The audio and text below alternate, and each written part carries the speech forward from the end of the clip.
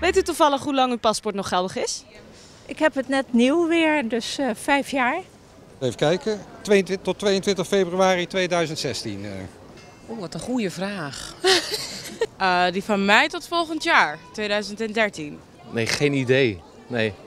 Wijsmarge hebben de volgende tips voor de reiziger. Zorg voor een geldig reisdocument. Zorg ervoor dat u uw bagage niet onbeheerd achterlaat op de luchthaven. En vanaf 26 juni is het verplicht voor kinderen om een eigen reisdocument te hebben. Dat zijn onze tips en dan wensen we u een hele goede vakantie.